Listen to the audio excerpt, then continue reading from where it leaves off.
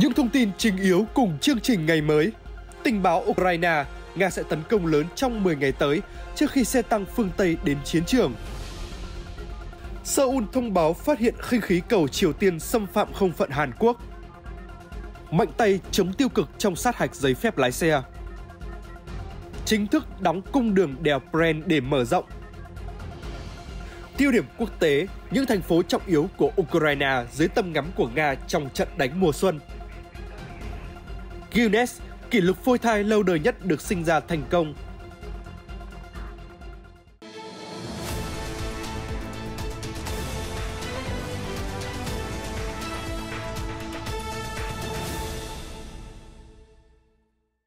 Xin được chào đón toàn thể quý vị và các bạn đang đến với chương trình ngày mới ngày 7 tháng 2 năm 2023. Và vào đầu ngày mới thì xin kính chúc quý vị có một ngày thật tràn đầy năng lượng và thật nhiều niềm vui. Và trước hết là Xuân Ngọc cũng muốn lưu ý một số thông tin về tình hình thời tiết trong những ngày qua. Thì à, thời tiết trên khắp cả nước thì diễn biến khá là bất thường và đặc biệt là tại khu vực phía Bắc thủ đô Hà Nội thì đang có hiện tượng là nồm ẩm và điều này à, khiến cho chúng ta cảm thấy khó chịu cũng giống như là ảnh hưởng khá là nhiều đến sức khỏe. Do đó quý vị hãy nhớ rằng là chúng ta hãy à, cân nhắc cũng giống như là lưu ý bảo vệ sức khỏe tốt hơn nhé. Và bên cạnh đó thì chương trình ngày hôm nay chúng tôi sẽ cập nhật rõ hơn về diễn biến thời tiết như thế nào và bên cạnh đó là rất nhiều những thông tin hữu ích khác. Và trước hết sẽ là 30 giây đầu ngày.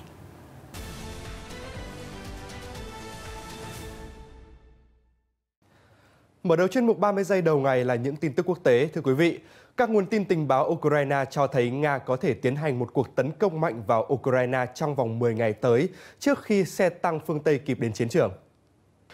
Một cố vấn quân sự Ukraine nói với tờ Financial Times rằng ông đã nhận được thông tin tình báo đáng tin cậy về kế hoạch này. Vào tuần trước, nguồn tin tình báo Ukraine cũng cho biết ông Putin đã ra lệnh cho các lực lượng vũ trang của mình chiếm toàn bộ Donetsk và Luhansk vào tháng 3. Vào tối Chủ nhật, Tổng thống Volodymyr Zelensky khẳng định đã có nhiều báo cáo cho thấy Nga muốn làm điều gì đó mang tính biểu tượng vào tháng 2 để cố gắng bù trừ cho những thất bại năm ngoái của họ.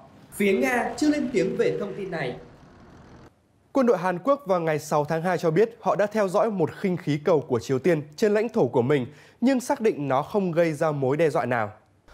Bộ Quốc phòng cho biết trong một tuyên bố rằng khinh khí cầu đã đi vào không phận Hàn Quốc trong một thời gian ngắn vào ngày Chủ nhật, đồng thời cho biết mặc dù chưa gây hại nhưng Hàn Quốc sẽ có động thái đáp trả. Các quan chức tin rằng đó là một khinh khí cầu thời tiết chứ không phải dùng cho các hoạt động gián điệp. Căng thẳng đã gia tăng liên chiều khi Triều Tiên tiến hành một số vụ thử tên lửa kỷ lục vào năm ngoái, còn Hàn Quốc thì tham gia với các đồng minh của Hoa Kỳ trong các cuộc phô trương quân sự. Mới đây nhất vào ngày 26 tháng 12, năm máy bay không người lái của Triều Tiên đã bay vào Hàn Quốc, trong đó có một chiếc đã đi vào vùng cấm bay xung quanh văn phòng Tổng thống Hàn Quốc trong thời gian ngắn, khiến quân đội Hàn Quốc phải điều máy bay chiến đấu và trực thăng để can thiệp. Phía Triều Tiên chưa lên tiếng về thông tin này. Tiếp tục là những tin tức quốc tế. Trong cuộc họp báo hôm qua, Bộ trưởng Thương mại Trung Quốc Vương Văn Đào cho biết các cuộc hội đàm mới nhất với người đồng cấp Úc Don Farrell là một bước quan trọng để đưa quan hệ kinh tế và thương mại song phương trở lại đúng hướng. Vào tháng trước, các quan chức Trung Quốc đã nới lỏng lệnh cấm nhập khẩu than của Úc khi cả hai nước nỗ lực cải thiện quan hệ ngoại giao. Trung Quốc vẫn đang hạn chế các mặt hàng xuất khẩu qua Úc, bao gồm lúa mạch, tôm hùm và rượu vang. Ông Vương cho biết Trung Quốc sẵn sàng khởi động lại cơ chế tạo điều kiện đối thoại với Úc về các vấn đề kinh tế và thương mại, đồng thời mở rộng hợp tác trong các lĩnh vực mới nổi bao gồm biến đổi khí hậu và các lĩnh vực năng lượng mới. Tiếp tục là những thông tin trong nước. Bộ Giao thông Vận tải vừa có văn bản về việc phòng chống tham nhũng, tiêu cực và quản lý chặt chẽ công tác đào tạo, sát hạch, cấp đổi giấy phép lái xe. Văn bản nêu rõ công tác đào tạo, sát hạch, cấp đổi giấy phép lái xe có ảnh hưởng lớn đến xã hội, ảnh hưởng trực tiếp đến người dân, đơn vị vận tải, tiềm ẩn vấn đề có thể xảy ra tiêu cực trong công tác này. Bộ Giao thông Vận tải chỉ đạo Cục Đường bộ và các địa phương thực hiện một số giải pháp cụ thể nhằm tăng cường phòng chống tham nhũng, tiêu cực và quản lý chặt chẽ công tác đào tạo, sát hạch cấp đổi giấy phép lái xe. Kịp thời phát hiện những bất cập về cơ chế, chính sách, văn bản quy phạm pháp luật để khắc phục, kiến nghị khắc phục nâng cao chất lượng, hiệu quả công tác đào tạo, sát hạch cấp đổi giấy phép lái xe cơ giới đường bộ. Thưa quý vị, những ai lưu thông các tuyến hướng về Đà Lạt cần lưu ý, đèo Pren nằm ở cửa ngõ thành phố Đà Lạt, tỉnh Lâm Đồng, chính thức bị đóng để phục vụ thi công, mở rộng tuyến này trong gần một năm. Nhiều công nhân được huy động vây hàng rào bằng tôn để đóng đèo Pren. Cảnh sát giao thông cùng lực lượng chức năng sớm có mặt phân luồng, điều tiết giao thông và thông báo cho người dân việc đèo bị đóng để thực hiện dự án, dự kiến khởi công vào ngày 10 tháng 2. Sau khi đường đèo Pren bị đóng, xe lên Đà Lạt được hướng dẫn đi theo đường đèo Mimosa cách đó khoảng 10 km và đường nối từ cao tốc Liên Khương Pren vào khu du lịch Hồ Tuyền Lâm. Tuyến này cấm xe tải. Sở Giao thông Vận tải cũng phân luồng tại tổ dân phố 13, phường 3, thành phố Đà Lạt, gần đèo Pren, bố trí đi theo hai chiều đoạn từ khu du lịch Đát Ta La đến ngã ba đường Trúc Lâm Yên Tử, kết hợp thi công, cấp giấy phép xe ra vào.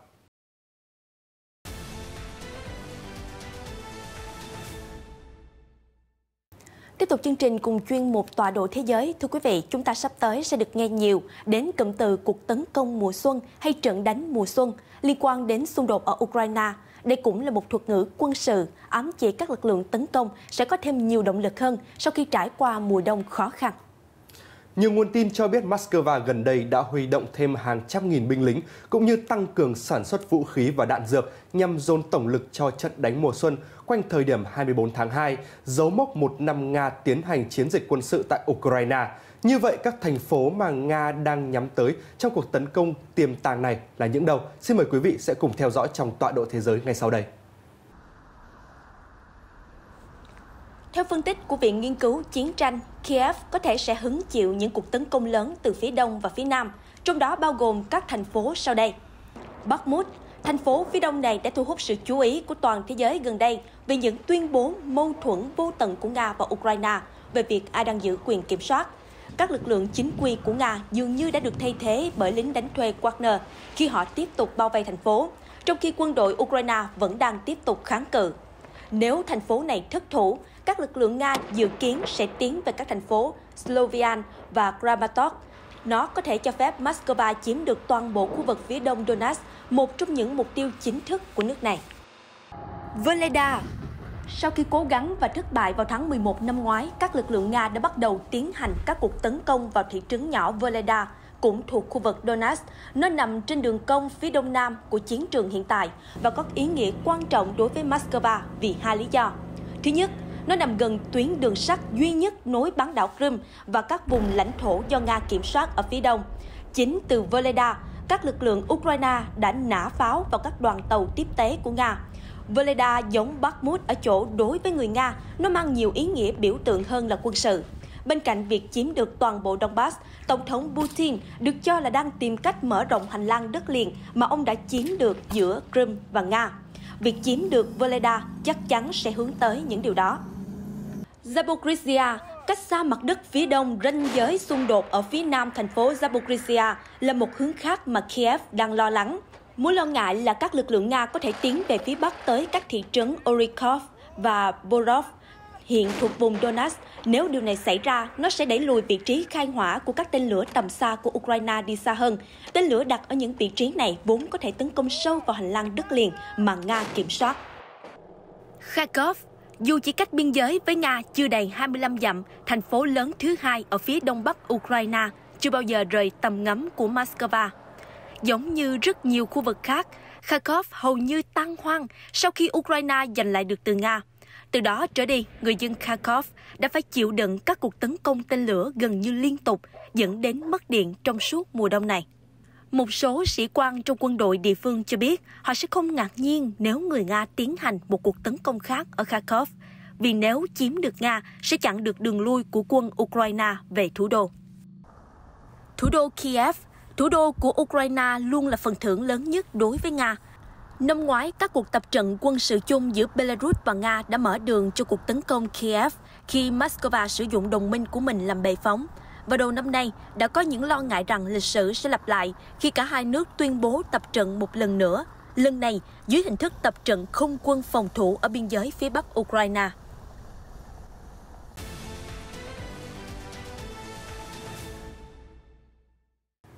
Cùng chuyển sang chuyên mục Guinness Thế giới, thưa quý vị, một cặp song sinh chào đời vào ngày 31 tháng 10 năm 2022 tại Washington, Mỹ bằng phương pháp thụ tinh trong ống nghiệm vừa được trao danh hiệu kỷ lục Guinness là phôi thai lâu đời nhất được sinh ra thành công. Và thưa quý vị, cha mẹ của cặp song sinh 3 tháng tuổi Lydia và Timothy Redway thường hay nói đùa rằng là chúng chắc chắn sẽ là những tâm hồn già dặn và sâu sắc vì thực chất thì chúng đã được thụ tinh cách đây gần 3 thập kỷ. Phôi được tạo ra từ những người hiến tặng dành cho một cặp vợ chồng giấu tên bằng phương pháp thụ tinh trong ống nghiệm. Cặp vợ chồng này sau đó quyết định hiến tặng những phôi thai này cho Trung tâm Hiến tặng Phôi thai Quốc gia NEDC ở Knoxville, Tennessee. Cặp phôi được lưu trữ tại NEDC trong suốt gần 30 năm cho đến khi được trao cho vợ chồng anh Philip và chị Rachel Gregway. Vợ chồng anh Railway chia sẻ, tôi nghĩ những phôi thai đông lạnh giống như những đứa trẻ đang chờ được nhận nuôi càng cần một mái ấm. Chúng tôi thậm chí không biết giới tính của những đứa trẻ cho đến khi chúng chào đời. Gia đình Railway rất vui mừng khi cặp song sinh của họ giữ danh hiệu kỷ lục về phôi thai lâu đời nhất được sử dụng cho một thai kỳ thành công. Kỷ lục trước đây thuộc về Mosley Gisborne, sinh năm 2020, từ một phôi thai đã được đông lạnh trong gần 27 năm. Những thông tin chính yếu tiếp theo, tiêu điểm trong nước, làm sao để mỗi người lao động đều có nơi ăn trốn về. Mùa hè năm 2023, khách Trung Quốc có thể giúp ngành du lịch vực dậy.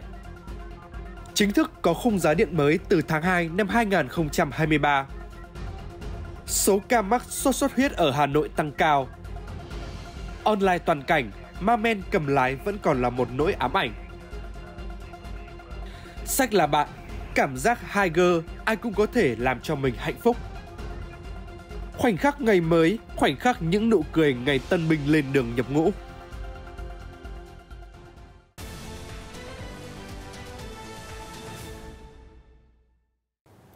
Chuyển sang những thông tin đáng chú ý trong nước, bên cạnh vấn đề về tăng thu nhập để đảm bảo cuộc sống, người lao động còn mong muốn có những cơ chế, chính sách để có thể tiếp cận với nhà ở xã hội, nhà giá rẻ cùng với tham gia tích cực vào cuộc của cả hệ thống chính trị các cấp các ngành, nhất là vai trò của các địa phương, các doanh nghiệp. Đến nay công tác phát triển nhà ở xã hội đã đạt được một số kết quả đáng ghi nhận.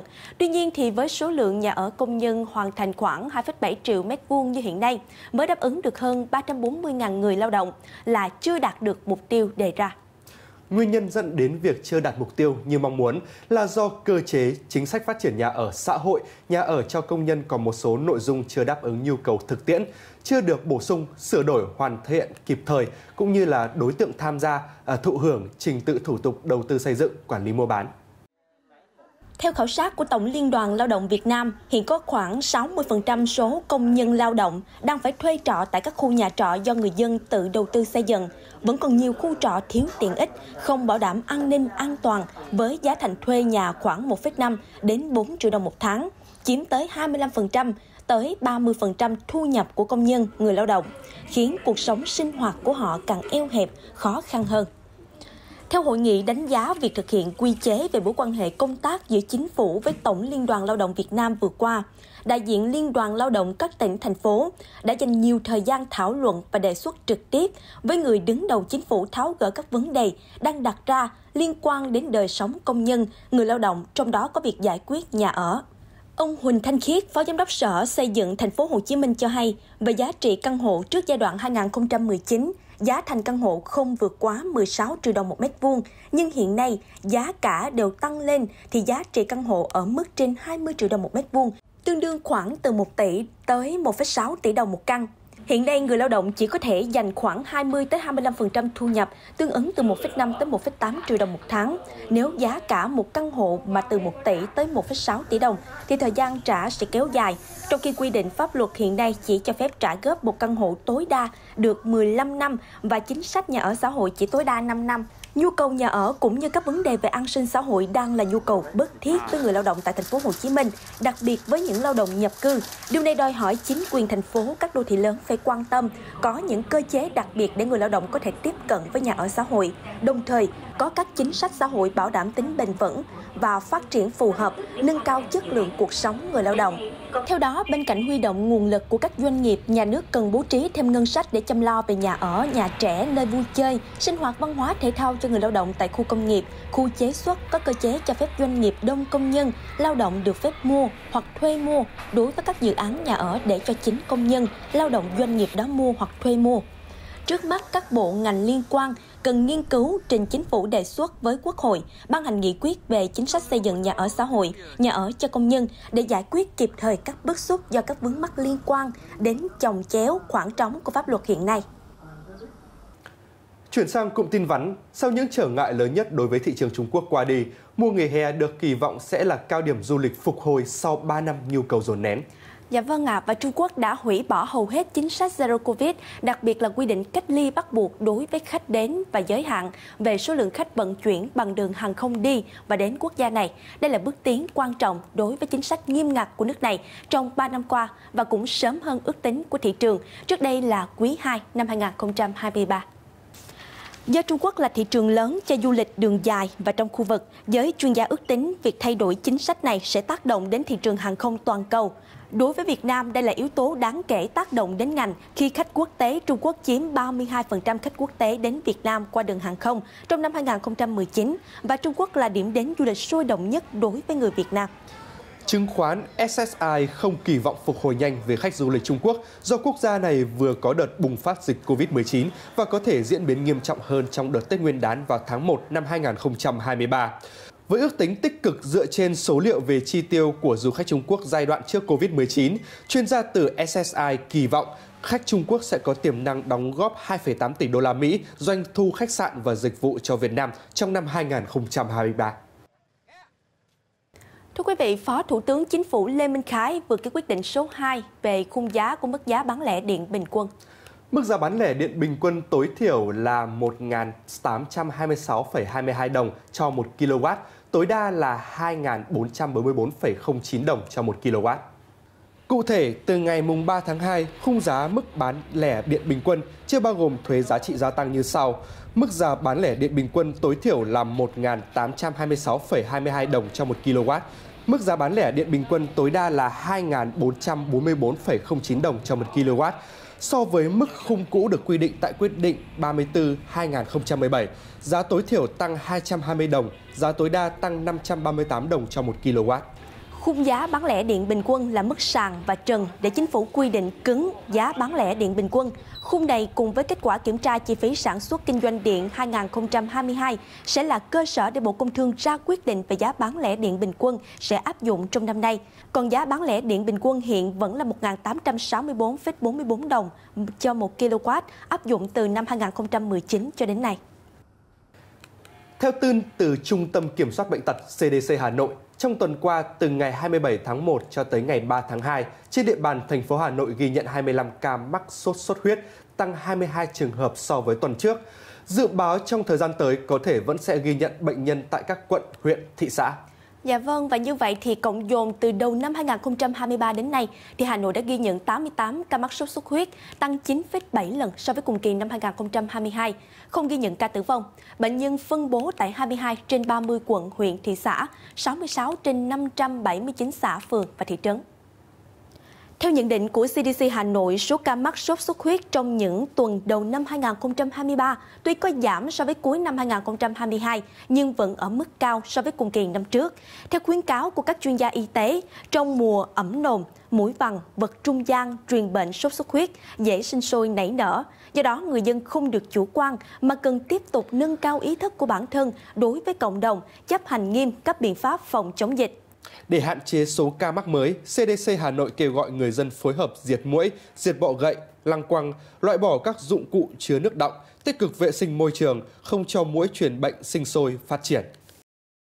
Tiếp tục cùng một thông tin về du lịch, thưa quý vị, nền tảng du lịch Booking.com vừa công bố những cơ sở lưu trú nhận giải thưởng thường niên Traveler Review Award 2023 và những địa điểm mến khách nhất trên thế giới, dựa trên dữ liệu 240 triệu nhận xét đã được xác nhận bởi du khách.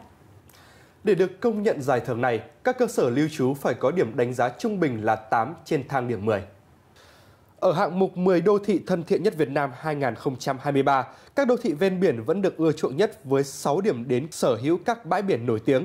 Đứng đầu danh sách này là Phong Nha, tiếp theo là Ninh Bình, Hội An, Huế, Mai Châu, Tuy Hòa, Côn Đảo, Đồng Hới, Cát Bà, Sapa. Đây cũng là lần đầu tiên Cát Bà tại huyện Cát Hải, thành phố Hải Phòng được vinh danh tại hạng mục này thay cho mũi né trong bảng xếp hạng năm 2022. Trong số hơn 10.000 cơ sở lưu trú tại Việt Nam được đánh giá mức độ hiếu khách, thành phố Hồ Chí Minh là địa phương dẫn đầu về số lượng cơ sở được trao giải, tiếp sau là Hà Nội và Đà Lạt. Ở hạng mục địa phương thân thiện nhất tại Việt Nam, ba tỉnh được bình chọn là Ninh Bình, Quảng Nam và Thừa Thiên Huế.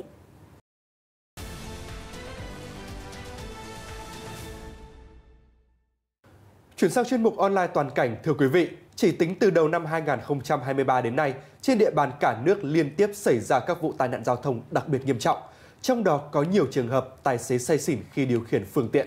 Và có thể nói thì vấn nạn ma men sau tay lái tuy đã được các phương tiện thông tin đại chúng đề cập nhiều, song mặc cho luật pháp tăng mức xử phạt xã hội lên án, số lượng ma men trên đường phố vẫn không thuyên giảm, thậm chí thì còn xuất hiện cả một bộ phận trí thức có học. Và sau đây mời quý vị cùng theo dõi online toàn cảnh. Sáng ngày 5 tháng 2, vụ việc một ô tô đi không đúng phần đường đã đâm vào ba xe máy, dẫn đến hai người tử vong và bốn người khác bị thương tại Phú Quốc, khiến nhiều người xót xa.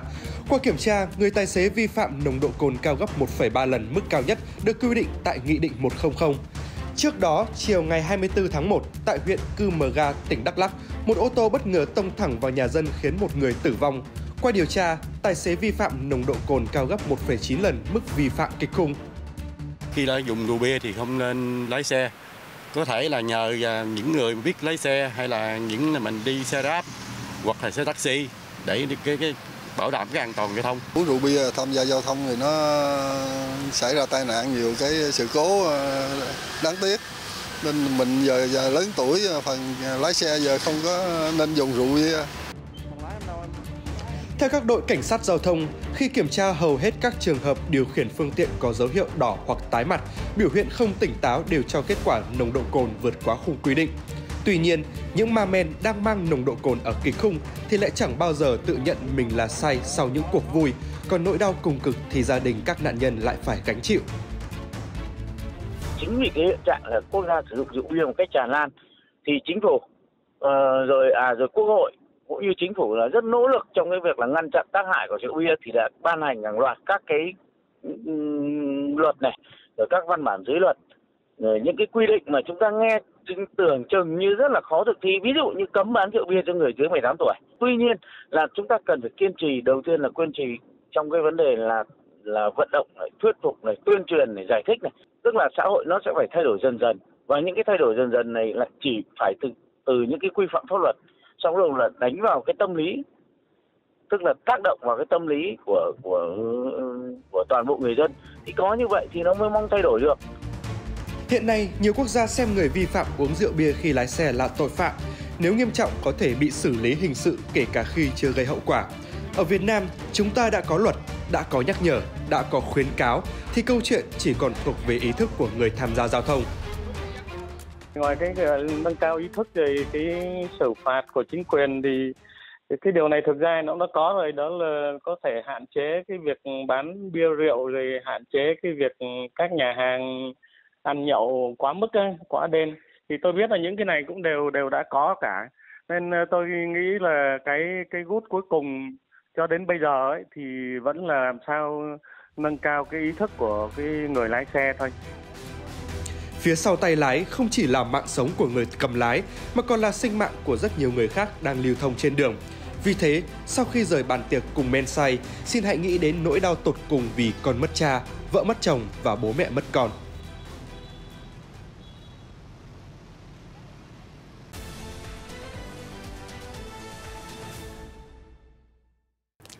Quý vị, mỗi người đều sẽ có cho riêng mình những định nghĩa khác nhau về hạnh phúc. Nó có thể bắt đầu từ những điều nhỏ bé trong cuộc sống thường ngày. Và đến với chuyên mục sách là bạn hôm nay, chúng tôi muốn nhắc đến quyển sách là Cảm giác Huger, được uh, chấp bút bởi tác giả Milky King sẽ bổ trợ thêm cho chúng ta cách khai thác, tìm được niềm vui và lý tưởng ở cuộc sống. Cảm giác Huger được nhiều độc giả nhận xét là một cuốn sách đẹp, cả về nội dung lẫn hình ảnh và cách trình bày. Và quyển sách đã trở thành một hiện tượng xuất bản trên toàn thế giới bởi người ta tin rằng sẽ tìm được chìa khóa hạnh phúc khi đọc quyển sách này trọn vẹn 280 trang giấy. Hugo được hiểu đơn giản là cảm giác ấm áp, chứa đựng ý nghĩa của sự đồng hành, sự khỏe mạnh, sự mãn nguyện và cảm giác Hugo chính là quyển sách viết về văn hóa Hooger cũng như là cách người Đan Mạch tận hưởng những giây phút thật Hooger trong đời sống hàng ngày như thế nào. Nội dung của cuốn sách sẽ xuyên suốt trong ba luận điểm. Hooger là gì? Cảm giác Hooger sẽ mang đến cho bạn điều gì? Và sau cùng đó chính là hành trình tìm kiếm cảm giác Hooger trong cuộc sống. Quyển sách không viết về những điều to tát, vì thế cũng không khiến độc giả choáng ngợp bởi những thông tin hay một sự thật khủng khiếp nào theo vào đó, nội dung sách sẽ đề cao những điều đơn giản như là việc ở bên nhau, ngắm nhìn những ngọn nến, uống một tách trà nóng hay nhấm nháp một món đồ ngọt với một bộ đồ thoải mái nhất trên người. Ẩn giấu trong thông điệp hạnh phúc và những câu chuyện được kể là cả một công trình nghiên cứu của Viện Nghiên cứu Hạnh phúc đặt trụ sở tại Đan Mạch, quốc gia liên tục lọt top những quốc gia hạnh phúc nhất thế giới. Mỗi thông tin đều được chọn lọc để người đọc sau khi trải nghiệm với sách có thể tự tạo ra cảm giác, xúc giác và môi trường huger của riêng mình.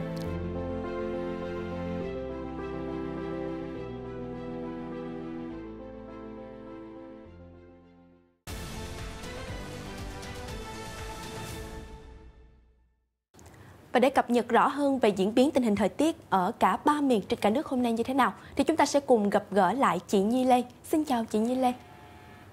Chào quý vị đang theo dõi thời tiết 24 giờ. Thưa quý vị, trong ngày hôm nay thì tại khu vực phía Bắc Bộ, sáng sớm vẫn còn có mưa phùn, đến trưa và chiều thì tạnh mưa, nhưng kèm theo đó là độ ẩm trong không khí ở mức cao từ 70% trở lên. Nhiệt độ toàn miền sẽ dao động từ 23 cho đến 28 độ. Trời ấm áp, Lưu ý thời tiết ấm kèm theo độ ẩm cao gây nên tình trạng ẩm ướt ở các bề mặt lạnh hơn như là sàn nhà, kim loại, kính gương. Hơi nước sẽ càng dễ ngưng tụ. Để giảm bớt tình trạng này thì quý vị nên đóng cửa sổ và bật điều hòa để hong khô. Không nên bật quạt vì sẽ khiến tình trạng này mạnh hơn. Còn thời tiết tại khu vực của miền Trung thì trong ngày hôm nay tương đối đẹp. Trung và Nam Trung Bộ có nắng, nhiệt độ dao động từ 28 cho đến 32 độ. Trong khi đó thì Bắc Trung Bộ buổi sáng có xuất hiện mưa, mưa phùn, sương mù, đến trưa và chiều thì giảm dần, nhiệt độ cũng chỉ dao động khoảng 21 cho đến 23 độ. Tại Tây Nguyên thì đang bước vào cao điểm mùa khô, cả tuần tới trong đó có ngày hôm nay thì trời gần như là không mưa, toàn miền nắng ráo. Thời tiết cũng có xu hướng nóng lên, nhiệt độ cao nhất phổ biến từ 29 cho đến 32 độ. Còn tại Nam Bộ thì cũng đang vào cao điểm mùa khô. Trong ngày trời nắng mạnh, hầu như khắp miền Đông xảy ra nắng nóng với nhiệt độ cao từ 35 đến 36 độ. Còn bên miền Tây phổ biến từ 32 cho đến 34 độ. Và sau đây sẽ là bản nền nhiệt độ tại các vùng trên cả nước.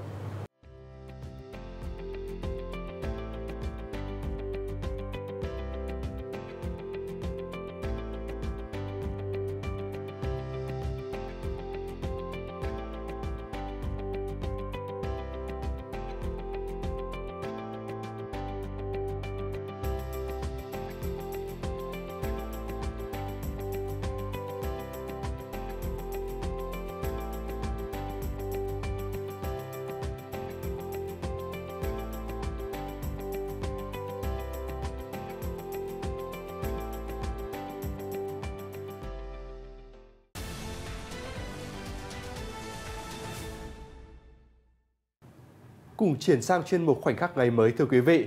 Trong những ngày này, tại một số địa phương trên cả nước đồng loạt tổ chức lễ giao nhận quân năm 2023. Tân binh cả nước lên đường nhập ngũ. À, và tại các điểm giao nhận quân thì tràn ngập những nụ cười rạng rỡ, xen chút bình rịnh của thanh niên nhập ngũ khi chia tay người thân và tất cả đều nói lên sự kỳ vọng, tin tưởng vào những tân binh sẽ nỗ lực hoàn thành tốt nhiệm vụ, trưởng thành hơn trong những tháng năm quân ngũ. Bắt đầu từ sáng sớm, các công tác giao nhận quân diễn ra vô cùng long trọng, đúng thời gian, đảm bảo nhanh gọn, đủ chỉ tiêu, tiết kiệm và an toàn. 100% thanh niên phấn khởi, tự tin lên đường tổng quân theo tiếng gọi thiêng liêng của Tổ quốc, khoác lên mình màu quân phục mới, đọc lời tuyên thệ tại lễ giao nhận quân. Các tân binh đều thể hiện quyết tâm, tiếp nối tinh thần cách mạng, nguyện ra sức huấn luyện, hoàn thành tốt mọi nhiệm vụ của người lính. Trong không khí rộn rã ấy sẽ bắt gặp rất nhiều những nụ cười rạng rỡ như tỏa nắng của những chàng tân binh trẻ càng tràn nhiệt huyết. Bên cạnh đó là sự khích lệ ngọt ngào như tiếp thêm sức mạnh của những bậc cha mẹ, thân nhân lúc tiễn chào. Sau những chiếc ôm thật chặt, những lời tiễn biệt xúc động ý nghĩa và cả những giọt nước mắt, các tân binh sẽ lên xe trở về đơn vị. Bắt đầu từ hôm nay, các tân binh sẽ rời xa bàn tay chăm sóc của cha mẹ, sự chở che của xóm làng để bước vào cuộc sống quân ngũ bằng chính đôi chân của mình.